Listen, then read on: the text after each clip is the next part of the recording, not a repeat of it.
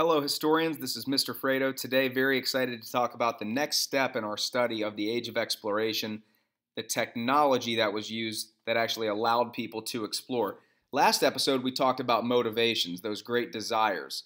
The reality is, you can have all the desire in the world. If you don't have the technology to actually make it a reality, it doesn't do you a whole lot of good. Like, you could really want to build a deck at your house, but if you only have straws and glue sticks, you're not going to get very far. So it starts with kind of the idea and the desire, but it really is made possible by the technology that was available. So today, a real quick snapshot at some of the different forms of technology or the different types of creations that were developed during this time period, during the age of exploration, that actually allowed this to happen. And we start with a school, not necessarily a tool, but more of a system for creating explorers.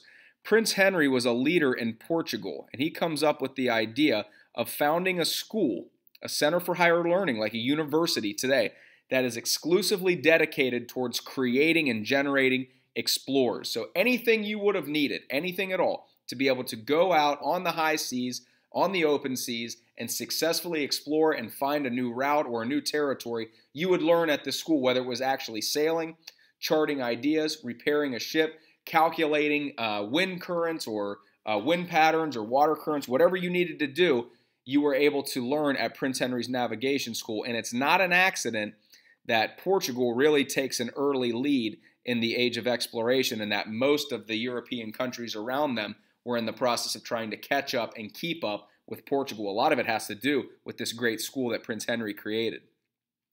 Next big creation is the caravel. Prior to the caravel, the most common ship that was used uh, was called a galleon. It's very, very big, two to three times the size of a caravel. And it's not as if galleons went out of style, but they were very big, so that meant they were slower, they were harder to manipulate, and because they had that really, really deep bottom of their ship, they couldn't get very close to the shore. The caravel is really the exact opposite of that. It's very light, it's easier to control, it's extremely fast, at least in comparison to the galleon, and it also has a shallow bottom, where it, which means it's not cutting deep into the ocean. So what this allows the explorers to do is to get up along the coast, and they can actually sail along the coast uh, without having to get out of their ship and leave. They can explore without having to lose any time, and they can figure out whether a territory is safe or not, or worthy of them actually disembarking their ship and, and um, going on land.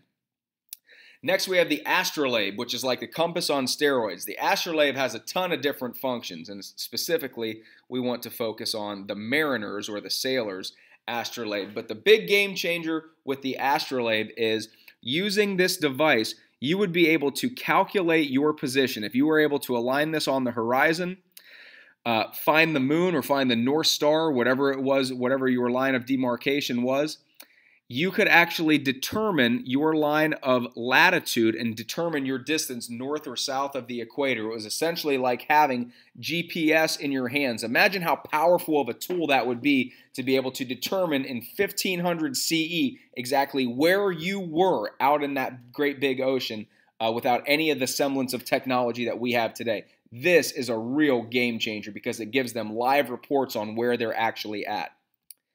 Next, we have better maps. Here's a map from the Greek era, and you can see it's actually pretty impressive. The size of Africa, uh, all the different islands and peninsulas of Western Europe, the size of Asia, but you notice that some things are missing.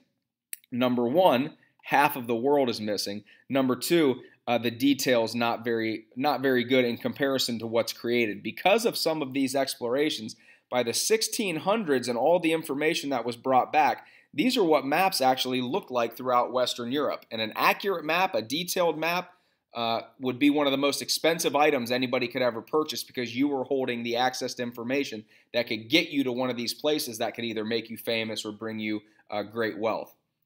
And lastly, we have European technology. Some of this isn't really new technology, but the key point in understanding the role of weapons in the age of exploration as a form of technology is it's their guns, it's their cannons, and it's even their horses that allow them not really to travel, but to actually keep land upon arriving it. Remember, there are natives there. These territories, North America, South America, they're not uninhabited. There's people there, and usually outnumbering the Europeans in a great way. So for the Europeans, their greatest asset, in addition to the diseases they were unknowingly carrying, in terms of being able to actually take and conquer a territory, is the weapons that they had.